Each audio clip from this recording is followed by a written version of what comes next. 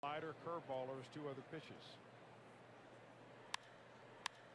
Cozart rips this ball to left field, and that's going to fly out of here. His 15th of the year, back home runs in the eighth. So he has homered in back-to-back at bats.